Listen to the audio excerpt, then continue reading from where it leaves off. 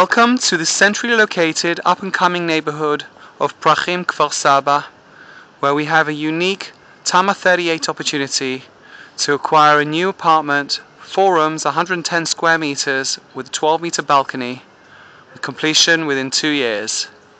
Further details, Israel HomeNet.